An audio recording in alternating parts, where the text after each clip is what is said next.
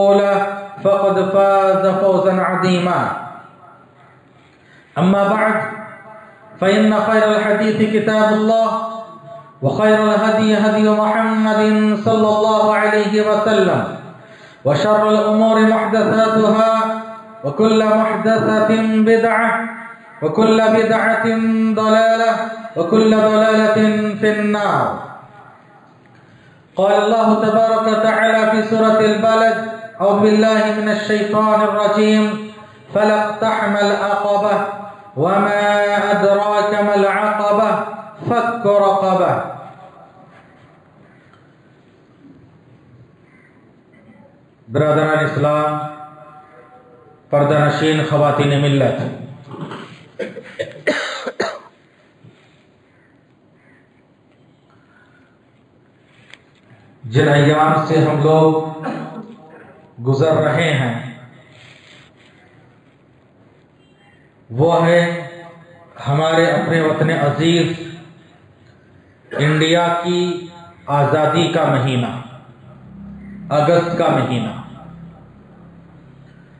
और आज उसकी बारह तारीख है। तीन दिन बाद, बल्कि दो दिन बाद, तीसरे दिन, पंद्रह अगस्त उन्नीस में हमारा ये अपना मुल्क अंग्रेज़ों की गुलामी और उनके तसल्लुत उनके जबर जुल्म से आज़ाद हुआ।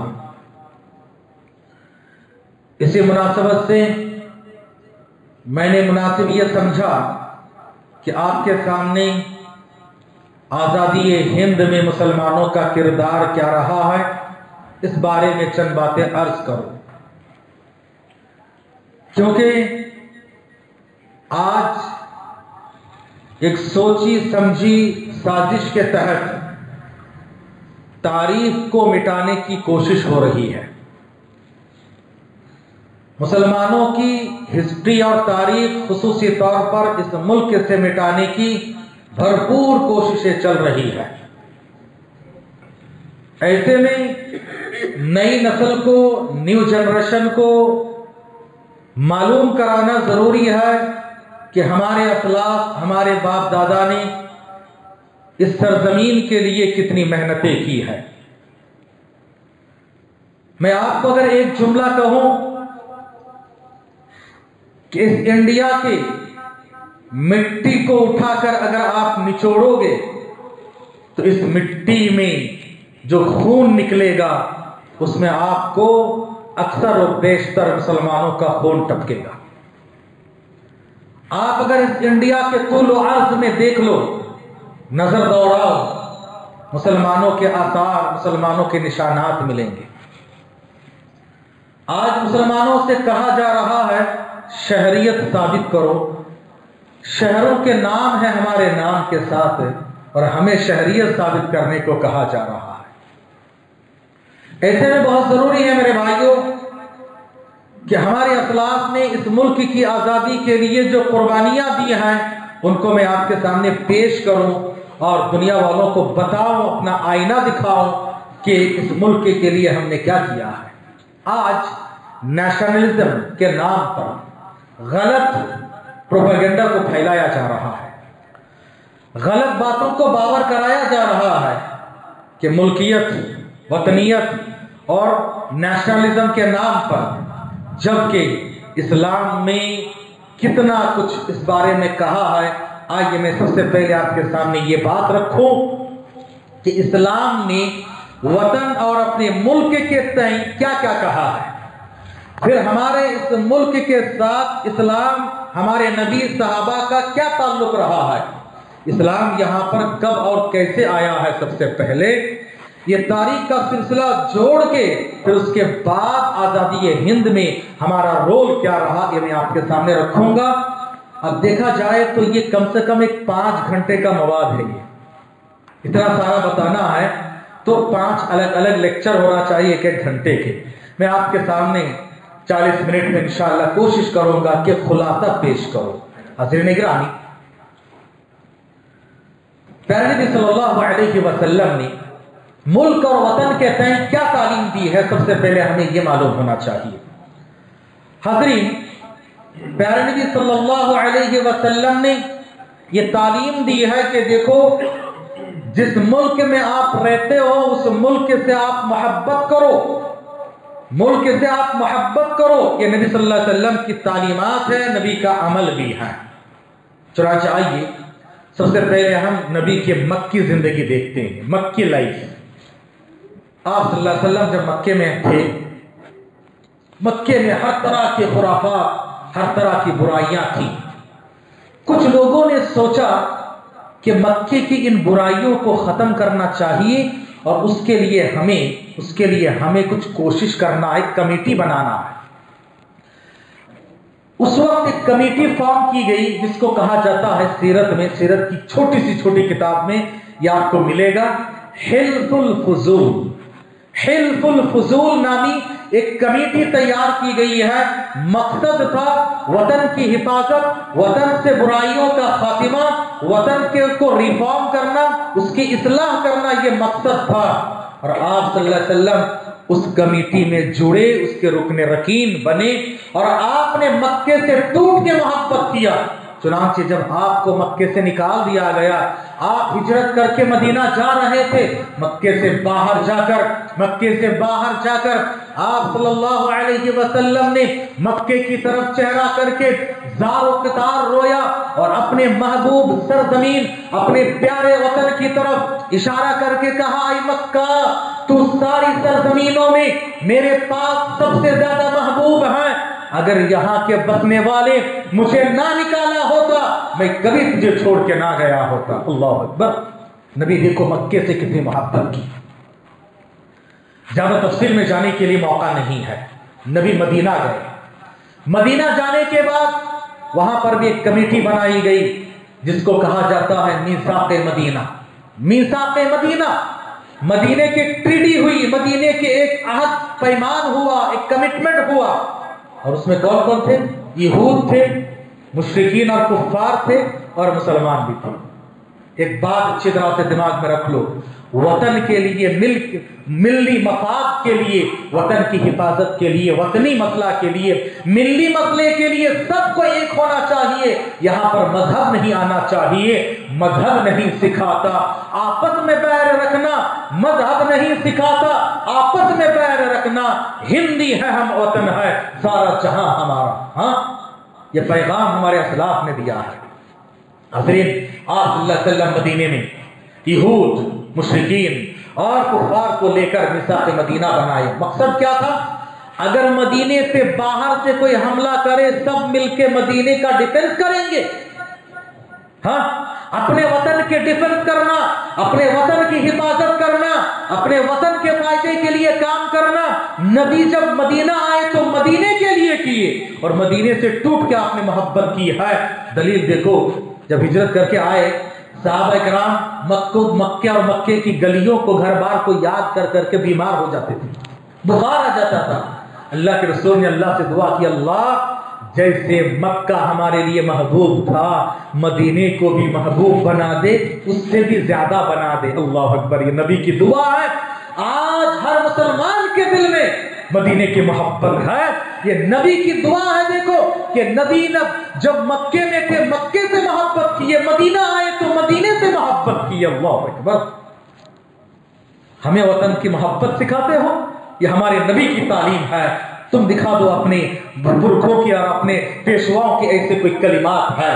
हाजरीन नबी ने वतन के ताल्लुक से ये तारीफ़ दी है, आप जहाँ रहते हो, वहाँ के आप वफादार बनो, वहाँ के लिए फ़ायदेमंद बनो, सूदमंद बनो, बुराइयों के खातिमा करने वाले बनो, वहाँ के डिफेंस करने वाले बनो, वहाँ के लिए तुम फ़ायदेमंद बनो। मुसलमान कभी वतन का गद्दार हो नहीं सकता, ये हमारे नबी की तालीम है ही नहीं है, और जो ऐसा करे वो पक्का मुसलमान हो नहीं सकता। हाजरीन ये रहा नबी की तालीम है वतन के सही आप सल्लल्लाहु अलैहि वसल्लम के ज़माने से आज तक हमारे इस मुल्क का क्या ताल्लुक रहा, ये मैं आपको सबसे पहले उसके बाद दूसरे नंबर पे बताता प्यारे नबी सल्लल्लाहु अलैहि वसल्लम मदीने में आपका इंतकाल हुआ दस हिजरी में, दस हिजरी में। आप सल्लल्लाहु अलैहि वसल्लम के ज़माने में ही यहाँ पर इस्लाम का पैगाम पहुँच चुका था। चुनाच, तारीख गवाह है और सही वाकया है ये। केरला का एक बादशाह, केरला का एक बादशाह जिसका नाम चेरामन। वो रात में एक मर्तबा अपने महल के छत पे, टेरेस पे टहल रहा था। अचानक देखा चाँद दो टुकड़ों में तकसीम है। नबी सल्लल्लाहु अलैहि वसल्लम ने उंगलियों के इशारे से चाँद को दो टुकड़ों में तकसीम किया था एक मोजेसा था। बादशाह ने देखा। और उसके बाद ताजुब किया, क्या बात है? चाँद दो हिस्सों में डिवाइड है। उसने खोज लगाई, पता चला कि मक्के में, मदीने, मक्के में, मदीने में, अरब में एक नबी आए हैं और नबी ने एक मोजेजा करके दिखाया है चाँद को दो टुकड़ों में तकसीम किया है। अब वो नबी की जुस्तजो में तलाश में निकल गया यहाँ से। केरला से निकल गया, कहाँ गया? बाकायदा नबी के पास गया, नबी के पास जाकर इस्लाम कबूल किया, इस्लाम कबूल करके वापस आ रहा था। रास्ते में कहीं उनका इंतकाल हुआ, दफन कर दिया गया। पता नहीं कहाँ दफन कर दिया गया क्योंकि तो पता नहीं ना। रास्ते में कहीं इंतकाल हुआ तो वो सहाबी थे हाँ? शरत सहाबा हमारे इस वक्त अज़ीज़ के एक आदमी को वो शर्फ हासिल हुआ है कि वो जाके वहाँ सहाबी बने हैं। हसरीन उसके बाद सही बुखारी की हदीस है। प्यार नबी सल्लल्लाहु अलैहि वसल्लम से सहाबी रिवायत करते हुए कहते हैं कि केरल, इंडिया के एक बादशाह ने, इंडिया के एक बादशाह ने नबी को एक मटके में जंजबील जंजबील कहा जाता अदरक को अदरक मसाला ये अरब में नहीं होते, यहाँ से जाते हैं। मसालादार जो भी चीज़ें हैं ना, वो यहाँ ज़्यादा यूज़ होती है। उन लोगों को मसाला उतना नहीं आता, आज भी फीका फीका ही खाते हैं हाँ। अभी तो थोड़ा बहुत आके सीख गए हैं, बहरहाल। कहा कि एक मटके में अदरक देकर भेजे, और नबी ने सहाबा में तकसीम किया, मुझे भी एक टुकड़ा दिया। तो क्या मालूम हुआ कि उस जमाने में यहाँ पर, यहाँ के बादशाह को पता चला था। फिर मदीना गए मदीने में मस्जिद नबवी की बुनियाद जब रखी गई, उसके लिए पिल्लर बनाना था लकड़ियों से तो जिन लकड़ियों का इस्तेमाल हुआ, हाफिज इब्ने हजर अस्कलानी रहमा जो बुखारी की शरा लिखे हैं, उन्होंने फतुल बारी में लिखा है कि अजाज साज अरबी जबान में कहा जाता सागवान को सागवान को। अरबी जबान में गाप नहीं है गाप की जगह पर जीव इस्तेमाल करते हैं। सागवान की लकड़ी का इस्तेमाल हुआ, जो कि लाया गया था, यहाँ पर इंडिया से वहाँ ले जाया गया था। अल्लाह अकबर, ये ताल्लुकात है मेरे भाइयों। अब आइए उसके बाद, नबी के वफात के बाद, अबू बकर खलीफा बने, दो ढाई साल ऐसे ही गुजर गए, ऐसे ही गुजर गए। उसके बाद उमर रज़ी अल्लाह खलीफा बने। साहब इजाज़त पूछते थे कि हमें इंडिया जाने की इजाज़त दी जाए। चूँकि उस जमाने में समंदरी रास्ते से सफ़र करके आना है और समंदर का सफ़र खतरे से खाली नहीं है। कब तूफ़ान आए, कब सैलाब आए, कब क्या हो जाए बोल नहीं सकते हैं। क्यों अपने आप को जोखम में डालते हो, जोखम में डालते हो, खतरे में डालते हो? मत जाओ, परमिशन नहीं देते थे। उनके बाद खलीफा बने हज़रत उस्मान। उस्मान की खिलाफत रही बारह साल बारह साल। हज़रत उस्मान के ज़माने में बहुत सारे साहबा कराम इंडिया आए। बहुत सारे साहबा कराम आए इंडिया। चुनाचे समंदरी इलाके से भरोज है, दादिल है, और यहाँ आप साउथ इंडिया के जो केरला है और भटकल का जो इलाका है और ये जो कोस्टल बेल्ट है, इसमें आप देखोगे आज भी बहुत सारे अरबी कबीला बसते हैं, उनकी जबान आज तक अरबी है। उनकी तहजीब अरबी है, कल्चर अरबी है, वो देखने में अरबियों की तरह है। आज तक आपको मिलेंगे क्यों? अरबी नस्ल आकर वहाँ बसी और वहाँ पर बाकायदा दावत तबलीग का काम हुआ और उनके अखलाक और किरदार से मुतासर होकर मुसलमानों के जो ताजिर तिजारत करने वाले आए, सच्चे थे, अमानतदार थे, वादे के पक्के थे, अखलाक से मुतासर होकर इस्लाम कबूल किए बहुत सारे लोग। और आप जानते हैं आप कर्नाटक में मुसलमानों को पुराने लोग क्या बोलते हैं? साइब्रो। है ना? साइब्रो ऐसे कुछ बोलते हैं। उसका मतलब होता है बाइज्जत लोग जिनको इज़्ज़त की निगाह से देखते हैं। दाढ़ी वाले, टोपी वाले हाँ। लेकिन आज क्या हो गया? दाढ़ी, टोपी वाले सबसे ज़्यादा ठगाने वाले। एक जमाना वो था, आज हमारे अखलाक किरदार ने हमें क्या से कहा पहुँचा दिया? देखो, हा। इस इस्लाम को सबसे ज़्यादा नुकसान हुआ मुसलमानों से। दिल के फपोले चल उठे सीने की दाग से। दिल के फपोले चल उठे सीने की दाग से। इस घर को आग लग गई घर के चिराग से। हाँ? जितना नुकसान इस्लाम को मुसलमानों से हुआ, जितना इस्लाम बदनाम मुसलमानों से है, गैरों से नहीं है। याद रखो, हमें अपनों ने लूटा, गैरों में कहा दम था? हमें अपनों ने लूटा, गैरों में कहा दम था? मेरी कश्ती वहाँ डूबी जहाँ पानी कम था। आप तारीख के हवाले से, इंडिया की आज़ादी के हवाले से भी चंद बातें मालूम करेंगे। हजरीन, उसके बाद हज़रत अली का ज़माना आता है। अली के दौर में मुख्तलिफ़ मसरूफियात, इतने फसादात शुरू हो गए थे। साहब कराम अपने तजारती कारोबार के लिए आते थे, लेकिन कोई हुक्मरानी के लिए नहीं आए। तजारत और कारोबार के लिए आते रहे। ताल्लुक तब से थे। उसके बाद यहाँ हुक्मरानी, वो भी हुक्मरानी के लिए नहीं बल्कि अपने आप को आज़ाद करने के लिए सबसे पहला इस्लाम जो आया, सबसे पहले इस्लाम नबी के ज़माने में आ चुका था। केरला के बादशाह वो मुसलमान हो चुके थे। उस्मान के ज़माने में बात हो चुकी थी। और ये मैं आपको कब बता रहा हूँ? ये सब 600 ईसवी की बात है। और पहली सदी की बात है। पहली हिजरी की बात है। लोग कहते हैं, यहाँ पर इंडिया में इस्लाम निज़ामुद्दीन अलिया के ज़रिए से आया। अगर ये अलिया बुज़ुर्ग ना होते यहाँ हम मुसलमान नहीं होते, बोलते नहीं बोलते। करामात सुनाते हैं अलिया आए, सलाम फिर अस्सलाम यहाँ सारे मुसलमान हो गए। अस्सलाम इस्लाम के सारे मुसलमान हो गए। अरे वाह, क्या स्पीड है ना? फाइव जी से भी ज़्यादा है। याद रखो मेरे भाइयों, ये जो अलिया का सिलसिला है, ये चार सिलसिले हैं।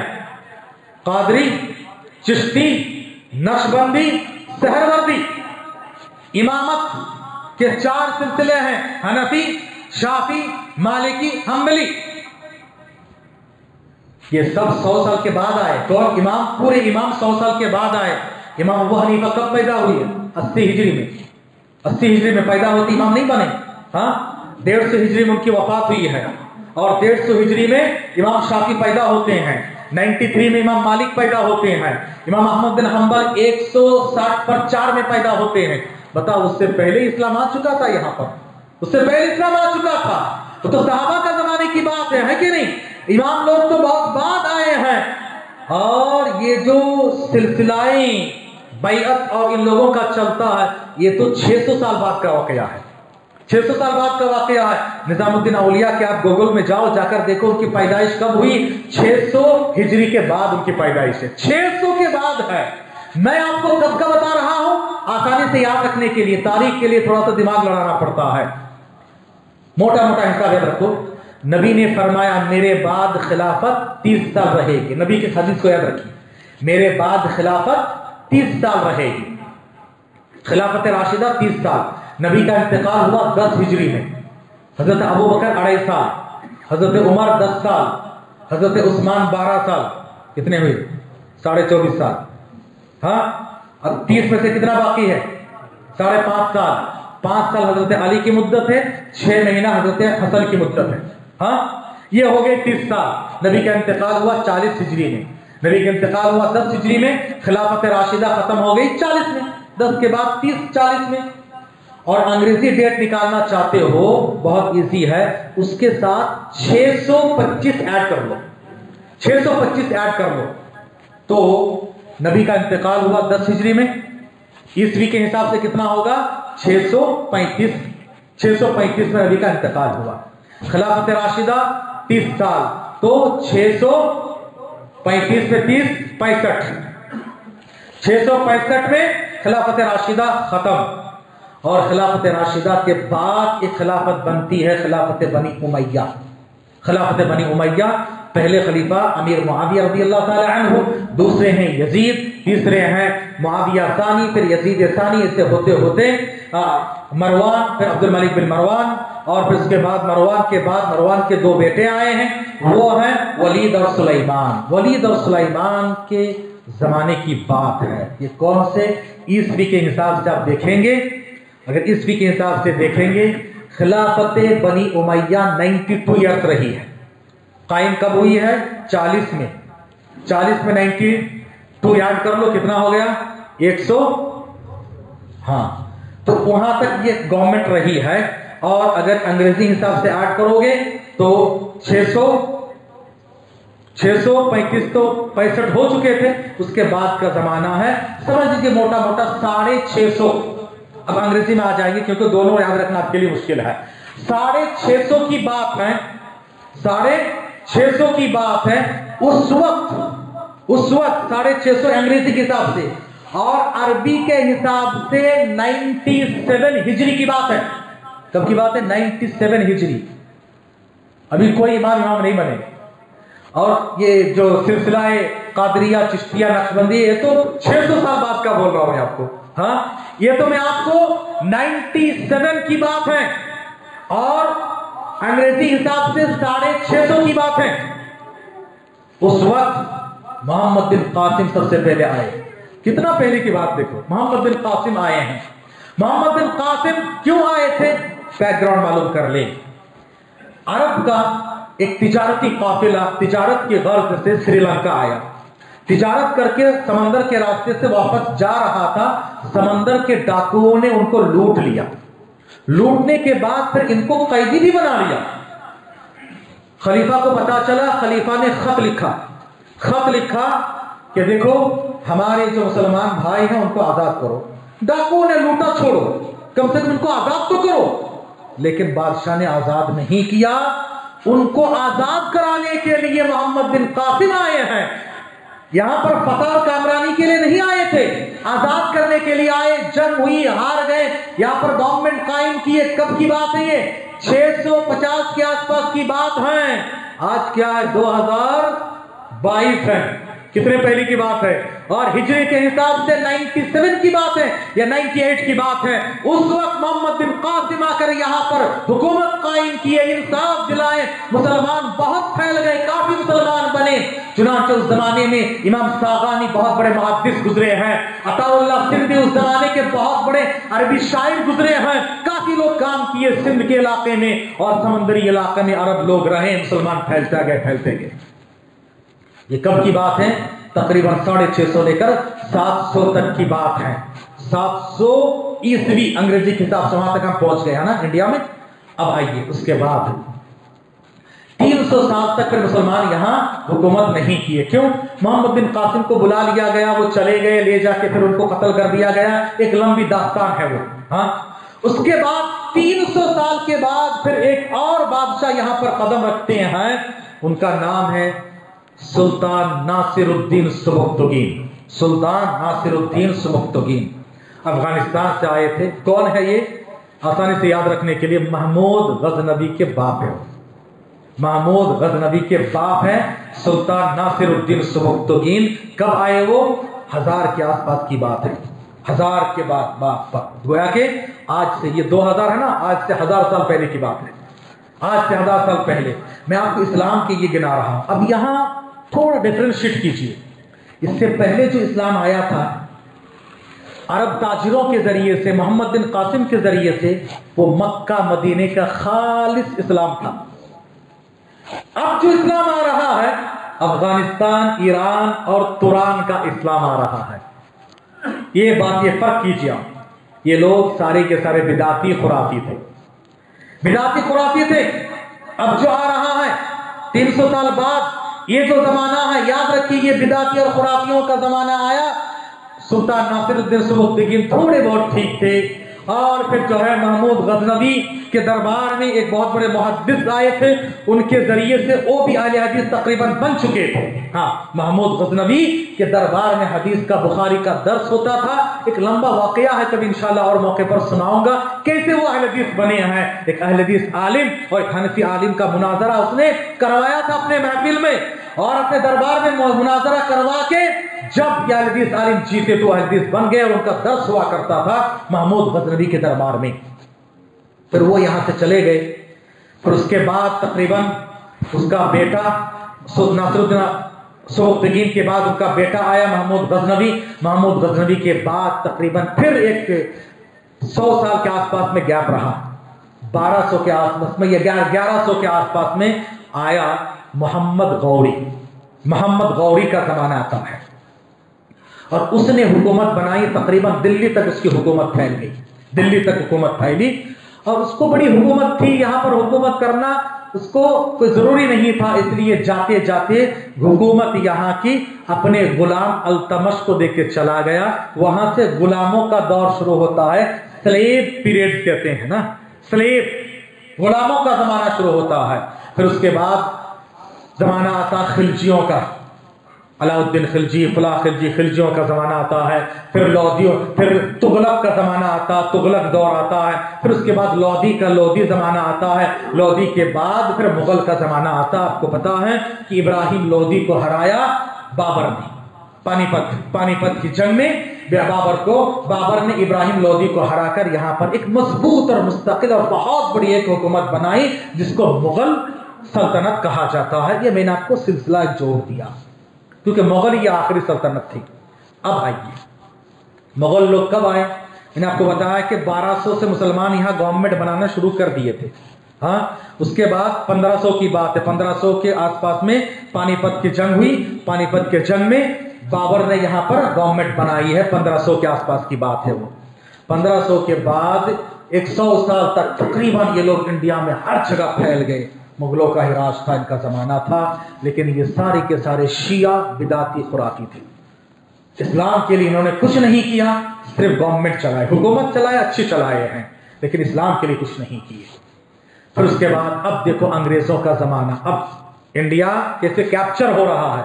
मैं ये आपके सिलसिला जोड़ रहा हूँ। फिर उसके बाद आज़ादी पे आऊँगा। फिर उसके बाद, अब एक रेवोल्यूशन आता है यूरोपियन रेवोल्यूशन आता है। यूरोप के लोग, ये लोग मुख्तलिफ़ जगहों में आगे बढ़ते हैं, आगे बढ़ते बढ़ते, उनकी नज़र इंडिया पर भी पड़ती है। इंडिया में वो आते हैं सबसे पहले बॉम्बे और कोलकाता में।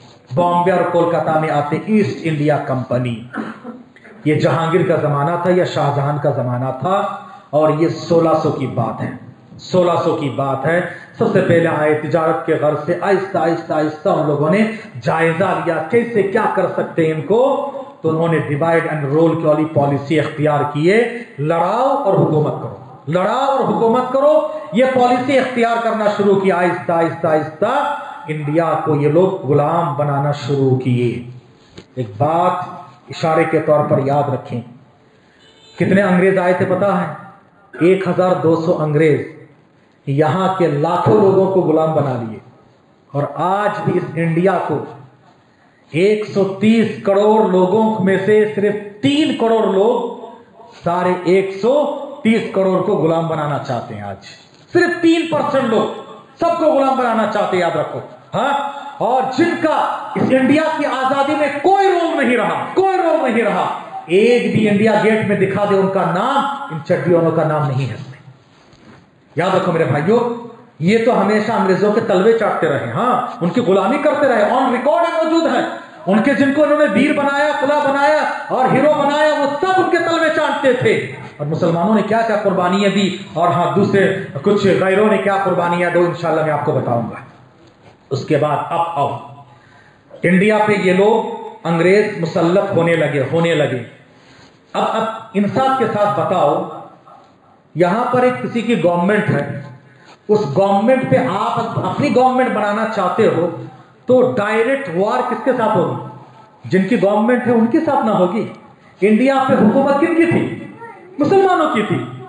तो आप अंग्रेज़ यहाँ पर गवर्नमेंट बनाए तो किनके साथ जंग किए? मुसलमानों के साथ जंग किए। और हम लोग जंग आज़ादी की तारीख शुरू करते कहाँ से? अठारह गदर के वाक्य से शुरू करते। गलत बात है। जंग आज़ादी की तारीख उससे सौ साल पहले शुरू होती है। अब आओ, मुसलमानों का किरदार इंडिया को आज़ाद करने में क्या है? अंग्रेज़ आया 600 के 1600 के आसपास में। 100 साल में यहाँ पर पूरा कब्जा कर लिए, छा गए। अब मुगल के जो बादशाह नवाब थे, उनको पता चल गया। कुछ गैर मुस्लिम राजा महाराजाओं को भी पता चल गया, ये हमें गुलाम बना रहे हैं। अब इनके खिलाफ इनके खिलाफ कार्रवाई करना, इनको भगाना है। सबसे पहले अंग्रेज़ों के खिलाफ जंग करने को जिहाद करार देने वाले कौन है?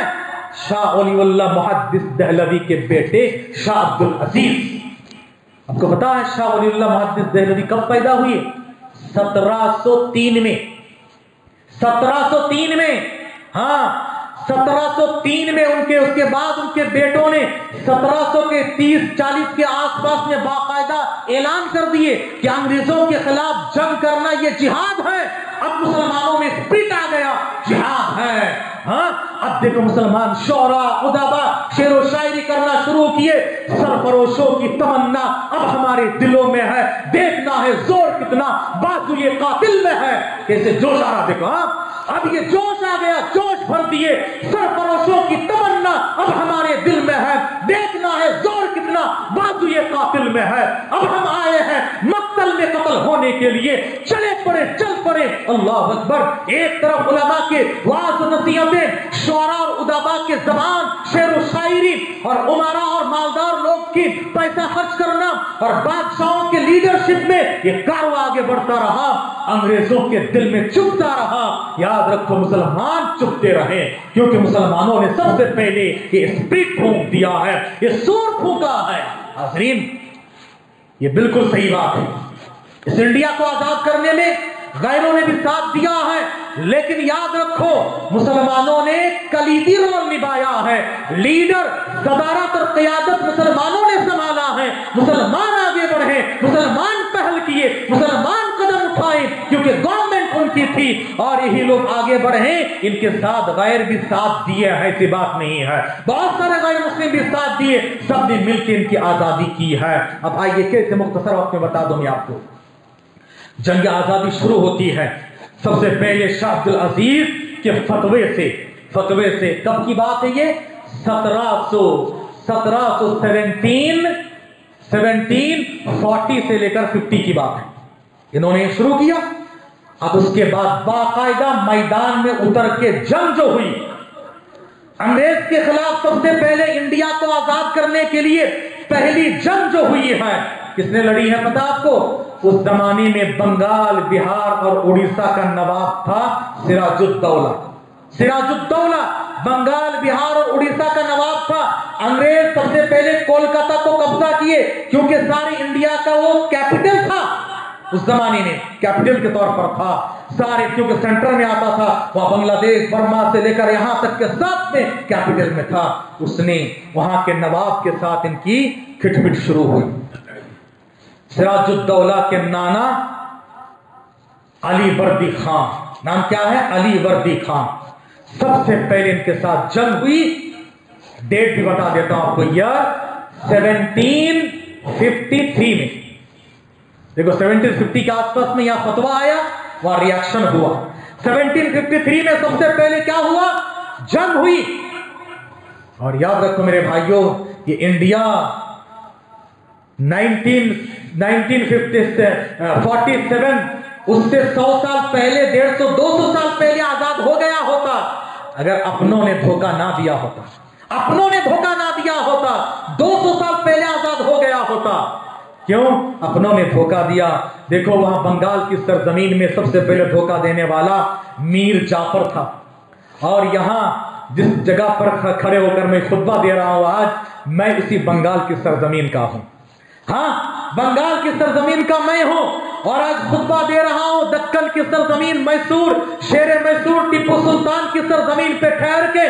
और याद रखो, यही दोनों सबसे पहले शेर थे। एक नवाब सिराजुद्दौला वहाँ बंगाल में और यहाँ पर दक्कन में शेर मैसूर, टीपू। अब कैसे अंग्रेज़ों ने इनको सबसे पहले खत्म करने की कोशिश की? उसके बाद दूसरी सबसे बड़ी जंग जो लड़ी गई, सिराजुद्दौला मैदान में आया, जिसको वार ऑफ़ पलासी कहा जाता है। वॉर ऑफ़ पलासी आप हिस्ट्री पढ़ो। पलासी के मैदान में जंग हुई। पलासी की सरजमीन मेरे गाँव से सिर्फ़ 24 किलोमीटर की दूरी पर है। सिर्फ़ 24 किलोमीटर की दूरी पर है। हम लोग पलासी के इलाके में रहते हैं। हाँ वहाँ पर सिराजुद्दौला के साथ कब की बात है ये? 1857 से एकदम सौ साल बाद 1757 1757 में सबसे पहले अंग्रेज़ों के खिलाफ बड़ी जंग हुई और वो नवाब सिराजुद्दौला ने लड़ी अंग्रेज़ों के खिलाफ। मीर जाफ़र ने गद्दारी की है। मीर जाफ़र ने गद्दारी की है और हमारे पास बंगाल में जाफ़र गाली है। आपको मालूम होना चाहिए। कोई बंदा जाफ़र नाम नहीं रखता। कोई बहुत ज़्यादा धोखेबाज है, मीर जाफ़र कहीं का बोलते हैं। हाँ वहाँ की जबान जबान में बोलते हैं, मीर जाफ़र कहीं का। क्यों? उसने धोखा दिया। अब वहाँ पर सिराजुद्दौला को खत्म किया। 1757 में। उसके बाद दूसरी एक जंग लड़ी गई बिहार की सरजमीन में बॉक्सर जिसको वॉर ऑफ़ बॉक्सर कहा जाता है। बॉक्सर की जंग लगी, लड़ी गई। वो कब की बात है? 1764 में। उसके बाद वो लखनऊ की तरफ़ गया। लखनऊ में नवाब वाजिद अली शाह था। उसको खत्म किए। दिल्ली की तरफ़ आए। वहाँ पर कब्जा किया अंग्रेज़। अब उनके पास एक बहुत बड़ी रुकावट थी टिप्पू सुल्तान के तौर पर। कि ये दक्कन की सरजमीन को नॉर्थ इंडिया को तकरीबन कब्जे में कर लिया। अब साउथ इंडिया के लिए सबसे बड़ा खतरा था टिप्पू उसके बाद इधर आए। इधर आने के बाद टिप्पू के साथ कब जंग हुई? 1799 में। 80 1857 बहुत बात की बात है मेरे भाइयों। ये देखो, अभी तो 17 की बात चल रही है। 1799 में इसी मैसूर की सरजमीन पे टिप्पू को शहीद करने के बाद शहीद है नहीं, अल्लाह बेहतर जानता है। यानी शरीय एतबार से शहीद हम किसी को पर्टिकुलर नहीं कह सकते हैं। बस जो मशहूर है बता देता हूँ, याद रखो, वतन के खातिर जान देने वाले, वतन की हिफाजत के लिए इंडिया को आज़ाद करने में। अब बताओ, यहाँ पर गैरों का खाल खाल नाम आ रहा है। 100 साल तक बाकायदा सिर्फ़ मुसलमान मैदान में रहे हैं और कुर्बानियाँ ऐसे ऐसे दिए हैं। जिस दिन टीपू को कत्ल कर दिए, अंग्रेज़ ने उनकी लाश पे ठहर के कहा, आज हिंदुस्तान हमारा है। आज हिंदुस्तान हमारा है। क्यों? हमारे रास्ते के सारे लोग खत्म हो चुके हैं। अल्लाह अकबर, याद रखो, ये लोगों ने लोगों ने इंडिया की आज़ादी के लिए कुर्बानियाँ दी मेरे भाइयों, और यहाँ पर भी मीर सादिक ने धोखा दिया। मीर सादिक ने धोखा दिया है। हाँ इसीलिए शायर कहते हैं शायर कहते हैं, जाफ़र अज बंगाल, सादिक अज दक्कन। जाफ़र अज बंगाल, सादिक अज दक्कन। नंगे दीन, नंगे मिल्लत, नंगे वतन। ये लोग दीन के लिए, वतन के लिए, मिल्लत के लिए शर्मार के बात है कि इन्होंने धोखा दिया है। याद रखना मेरे भाइयों, हमें अपनों ने लूटा गैरों में कहा दम था हाँ? वरना बहुत पहले आज़ाद हो गया होता। याद रखिए डिवाइड एंड रोल की ये पॉलिसी आज तक अपना रहे हैं। हाजरीन, मुसलमान का किरदार जंग आज़ादी में। ये सिलसिला चलता रहा चलता रहा। आखिरकार मुगल लोग कमज़ोर हो गए। और आपको कहाँ तक लाया मैं? 1799 तक लाया। उसके बाद 18 का जमाना आता है। गदर का वाकया कब हुआ? 1857 में, है ना? 1857 में गदर का वाकया आता है। हाँ उस वक्त देखो, आखिरी मुगल बादशाह बहादुर शाह ज़फ़र। उर्दू का बड़ा शायर भी था, बहादुर शाह ज़फ़र। अंग्रेज़ों ने उनको कैदी बना लिया और कैदी करने के, कैदी बना लेने के बाद सुबह सवेरे उनके आँखों के सामने उनके बेटों को कत्ल किया गया और नाश्ते के लिए उनके बेटों का सर पेश किया गया। वहाँ उनको भी कत्ल करने के बाद यहाँ दफन करने का मौका नहीं दिया गया। यहाँ से बाहर भेज दिया गया। अल्लाह अकबर, बहादुर शाह ज़फ़र आखिरी उनके शेर है। वो कहते हैं, बड़े अफसोस के साथ, बड़ा बदनसीब है ज़फ़र दफन के लिए। बड़ा बदनसीब है ज़फ़र दफन के लिए। दो गज ज़मीन ना मिल सकी कोई यार में। अल्लाह अकबर। उम्र उम्र अज़ीज़ मांग के लाया था चार दिन। उम्र अज़ीज़ मांग के लाया था चार दिन। दो इंतज़ार में कट गए दो आरजुओं में। हाँ। कोशिश करते रहे, शायद आज़ाद होगा, शायद आज़ाद होगा इंडिया को। जो लोग कहते हैं कि इन्होंने बाहर के हैं, ये सब अपने वतन के लिए जान दिए ही दफन हुए, यही के होके रह गए। अंग्रेज़ बाहर यहाँ के खजाने को बाहर ले जाते थे। एक मुगल बादशाह दिखा दो, यहाँ के खजाना वो बाहर लेकर गए। नहीं, यही फ़ायदा पहुँचा है वो लोग। यहाँ के होके रह गए वो लोग। लेकिन ब्रिटिश का मामला ये नहीं था, वो वहाँ करते थे। हाजरीन, उसके बाद देखो, ये सिलसिला शुरू होता है, शुरू होता है। सादिकपुर, आयन ईद का दिन था, ईद का दिन था। उलामा सादिकपुर की कुर्बानी। पंडित जवाहरलाल नेहरू ऑन रिकॉर्ड ये बयान दिए। आज़ाद इंडिया के पहले प्राइम मिनिस्टर बनने के बाद वो बिहार के सरजमीन पटना गए। पटना में पुराना एक नाम, पटना का पुराना नाम है अजीमाबाद। वहाँ के इलाका था जिसको सादिकपुर कहा जाता है। सादिकपुर के उलामा के बारे में जवाहरलाल नेहरू की गवाही ऑन रिकॉर्ड ये मौजूद है कि उलामा सादिकपुर ने जितनी कुर्बानियाँ दी है उनकी कुर्बानियों को एक पल्ले में रखो और सारे इंडिया वालों की कुर्बानी को एक पल्ले में रखो। उलामाए सादिकपुर की कुर्बानियों का पल्ला भारी हो जाएगा। अल्लाह अकबर। और ये उलामाए सादिकपुर हंड्रेड परसेंट उलामा थे। सब के सब अलवी सुलामा थे। आज तक भी देखो कैसी कुर्बानियाँ। ईद का दिन था। अंग्रेज़ बुलडोजरों के साथ सादिकपुर पहुँचता है। आज के भी जालिम लोग बुलडोजर चला रहे हैं। ये पुरानी बात नहीं, नई बात नहीं है। पुरानी बात है अंग्रेज़ भी उस जमाने में ईद के दिन बुलडोजर से सारा सादिकपुर को तहस नहस कर दिया है और सबको बर्बाद कर दिया ईद के खुशी के मौके पर। जलियान वाला बाग का वाक्य आप जानते हैं और याद रखो, इन सब में, इन सब में मुसलमान 90 परसेंट थे। मुसलमानों की कुर्बानियाँ, पानीपत की सजा कठिन सजा मेरे भाइयों, पानीपत की सजा मिलने वालों में 95 परसेंट मुसलमान थे। मुसलमान उलामा थे। और आप देखोगे, सारे मुसलमान उलामा आपको मिलेंगे। और ये लोग बर्दाश्त करते रहे, लेकिन अंग्रेज़ के साथ समझौता नहीं किए। ये लोग जिनको वीर मानते हैं, उनको भी पानीपत की सजा हुई, लेकिन आखिरकार हिम्मत हार गए। अंग्रेज़ों को खत लिख के बाकायदा मौजूद है ये। तारीख में मौजूद है। तुम्हारी गुलामी करूँगा और आखिर वक्त तक तुम्हारा साथ दूँगा और जो लोग मुजाहिद आज़ादी उनके खिलाफ काम करूँगा, मुझे आज़ाद कर दो और आखिरकार गांधी जी के कातिलिन में से उन्हीं का शुमार होता है याद रखो मेरे भाई। हमें बात आईना दिखाते हो। पूछो इस सरजमीन के दरों दीवारों से, गली कूचों से, शहरों से, इस सरजमीन से, धरती से, इस नीले आसमान से। आपको मुसलमानों के आओ पुकार, इस सरजमीन को निचोड़ो मुसलमानों का खून नज़र आएगा हर जगह देखो मुसलमान मुसलमान आगाज़ इन्होंने किया है इस इंडिया के लिए। जब चमन को लहू की ज़रूरत पड़ी, जब चमन को लहू की ज़रूरत पड़ी, सबसे पहले हमारी ही गर्दन कटी। फिर भी कहते हैं, अहले चमन चमन हमारा है, तुम्हारा नहीं। हाँ? कहा से तुम लोग बहुत बात के तुम थे। हाँ आए ज़रूर, लेकिन बहुत कम आए हैं। मुसलमानों का आप देखेंगे ऐसे ऐसे कुर्बानियाँ मेरे भाइयों, वक्त नाकाफी है गिराने के लिए, इंडिया की आज़ादी के लिए देखो। इस सरजमीन में मैसूर की सरजमीन से कोशिशें हुई टिपू की शक्ल में, उसके बाद बेंगलोर में आज जहाँ पर स्कूल है, बिशप कॉटन, बहुत मशहूर है। बिशप कॉटन स्कूल है। और ये कर्नाटका गैजेट का वाक्य बता रहा हूँ, पेज नंबर 97 की बात है हाँ? जो ऑथेंटिक है कर्नाटका गैजेट, है ना? बिशप कॉटन की सरजमीन वहाँ पर सबसे पहले स्कूल एक मुसलमान ने बनाई थी। कौन? उस्मान सेठ। उस्मान सेठ सेठ खानदान। उस्मान सेठ ने सबसे पहले वहाँ पर स्कूल बनाई अंग्रेज़ों के मिशनरीज के खिलाफ काम करने के लिए और उसकी बानी, उसके तासीस के लिए गांधी जी खुद आए थे। गांधी जी खुद आए थे हाँ उसकी बुनियाद में उसके करने के लिए। और गांधी जी ने उस मौके पर कहा सेठ साहेब, अल्लाह ने आपको दौलत दी है। इंडिया की आज़ादी के लिए दौलत कुछ वक्त कर दीजिए। उस्मान सेठ ने उस जमाने में इतनी रकम दी। काफ़ी सोने, चांदी धोने हीरे, जवाहरात दिए।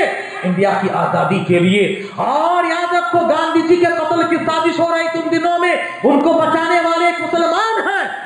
क्या बात करते हो? याद रखो, जाओ, नेताजी सुभाष चंद्र बोस, जिन्होंने आज़ाद हिंद एक तारीख बनाई थी, उनके रुकने आप जाओ, तहरीक शहीदैन इस्माइल शहीद और दूसरे शहीदैन की तहरीक। तहरीक रेशमी रुमाल, तहरीक वहाबी तहरीक तहरीक इंडिया छोड़ो। क्विट मूवमेंट का ये सबके बानी मुसलमान है। हज़रत मोहानी मौलाना, हज़रत मोहानी उर्दू के बहुत बड़े शायर हैं। उन्होंने सबसे पहले पैगाम दिया, इंडिया छोड़ो। क्विट क्विट इंडिया ये पैगाम मुसलमानों ने दिया। मुकम्मल आज़ादी का पैगाम, आज़ादी आज़ादी मुसलमानों ने दिया है। सरफरोशों की तमन्ना मुसलमानों ने दिया है। झंडा मुसलमानों ने बनाया है। ये आपको याद रखने के जितने बड़े, बड़ी इमारतें हैं और तारीखी यादगारें मुसलमानों ने दिया है। उस जमाने से लेकर आज तक इंडिया को न्यूक्लियर भी एक मुसलमान ने दिया है। न्यूक्लियर एक मुसलमान ने दिया है। आप जाओ, बड़े बड़े देखो, जितने कारनामा मुसलमानों ने अंजाम दिया है। तुम अभी भी सदियों नहीं कर सकते हो। उनको संभाला ही नहीं जा रहा है। करने की बात करते हो। याद रखो मेरे भाइयों, ऐसे आपको कितने वाकयात बताता हूँ। आखिर एक वाकया बताकर बात खत्म कर देता हूँ। इसी दक्कन के सरजमीन की बात है। केरला में एक खानदान रहता है जिनको कहा जाता है मापले मुस्लिम। मापले कहा जाता है। हाँ तो मुसलियार भी बोलते उनको मुसलियार। तो उनके मुसलियार अहमद मुसलियार या अब्दुल्ला मुसलियार को अंग्रेज़ों ने गिरफ़्तार किया और बहुत तकलीफें दी तो सारा खानदान उनके खिलाफ बगावत में उतर आए तो उन्होंने सबके खिलाफ मुकदमा दायर किया, देशद्रोही का जिसे आज बहुत सारे लोग करते हैं, जालिम बादशाह कर रहे हैं तो उनका, उन पर मुकदमा चलाने के लिए उस जमाने में कोर्ट अदालत जो थी, मद्रास में, पूरे दक्कन में मद्रास में, उनको वहाँ से यहाँ भेजना है, किसमें भेजे मालूम? ट्रेन में नहीं मालगाड़ी में। मालगाड़ी के एक डब्बे में कितने लोग आ सकते हैं, बोलो? तीस, चालीस, पचास। एक डब्बे में 200 लोगों को दाखिल किए। 200 को घुसेड़ा गया, बंद कर दिया गया। और याद रखो, उस जमाने में ट्रेन भागती नहीं, रेंगती थी। हाँ रेंगती थी। आहिस्ता आहिस्ता केरला से मद्रास आने के लिए तीन दिन लगते थे। दो दिन के बाद बहुत बदबू आ रही थी, एक बार रास्ते में ना खाना, पीना, ना खोलना। खोल के देखे, आधे से ज़्यादा 60 परसेंट लोग दम तोड़ चुके हैं, लाशें सड़ चुकी है ताफुन आ चुका है। बाकी लोगों को ले जाया गया आधे मर्दे, उनमें से आधों को काला पान, पाने की सजा हुई और बाकी लोगों को जो है फांसी पे लटका दिया गया। हजरीन, ये कुर्बानियाँ ये कुर्बानियाँ हैं। कितनी कुर्बानियाँ मैं आपको बताऊँ, चाहे वो नॉर्थ इंडिया, साउथ इंडिया मिलकर इस वतन की आज़ादी के लिए कोशिश किए, तब जाके आखिरकार ये आज़ादी मिली है। मौलाना अबुल कलाम आज़ाद की कितनी मेहनतें थी इस सिलसिले में, और दीगर जो अली बरादरान है, इनकी कुर्बानियाँ हैं, और कलकत्ता के सारे सड़कों में, दरख्तों में, हर एक मुसलमान, उलमा आलिम की लाश थी। याद रखो, इतनी कुर्बानियाँ इन भी है। अल्लाह अकबर। विलायत अली खान और तीसरे जो जितने जितने बड़े बड़े इकराम थे मुसलमानों की सारी कुर्बानियाँ, याद रखो इंडिया की कुर्बानी में 90 परसेंट मुसलमानों का हाथ है और उनमें भी ओलामा में भी 90 आले हदीस उलामा का कुर्बानियाँ शामिल हाल है। मेरे मोहतरम दोस्तों, बुज़ुर्गों, भाइयों, खुलासा कलाम ये हुआ कि हमने इस वतन की आज़ादी के लिए बहुत कुछ किया है। आज हमारी तारीख को मत किया जा रहा है। वक्तन फवक्तन बताना ज़रूरी होता। इसीलिए मैंने आपके सामने रखा कि इंडिया की आज़ादी में मुसलमानों का रोल क्या रहा? ये तो एक झलक है बस। आपको मालूम करना पड़ना चाहिए। दो हर से अल्लाह तबरक हमें और आपको इन कई सारी बातों में से जो अच्छी बातें हैं, उनको दूसरों तक पहुँचाने, अमल करने की तोफ़ी अता फरमाए। सारे मुसलमानों की जान, माल, इज़्ज़त आबरू दीन ईमान, अहल की हिफाजत फरमाना। अल्लाह ताला आज इस मुल्क में, वतन में फितना फसाद हो रहा है। फिर तीनों को, फसादियों से तो काफ़ी हो जाना, जालिमों से तो निमट लेना। अल्लाह तो हमारी हिफाजत फरमाना, अपने मुल्क और वतन की भी हिफाजत फरमाना, सुकून की ज़िंदगी अता फरमाना। अल्लाह तो हमें आज़ाद कर, जैसे अंग्रेज़ आज गुलाम बनाना कोशिश कर किए आज भी कुछ लोग इस इंडिया को गुलाम बनाने की कोशिश कर रहे हैं। अल्लाह तुमको नाकाम नामुराद कर, सारे मुसलमानों को भाई भाई बना दे, नेक बना दे, एक बना दे। सारे इंडिया के बाशिंदों को अल्लाह खुश खुर्रम रख, एक बना दे, नेक बना दे। आमीन। वाखरुदावा अलहमदिल्ला